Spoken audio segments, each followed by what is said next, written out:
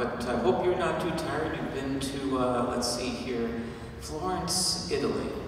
You've been to Paris and and also because Sor was from Spain, went to Spain.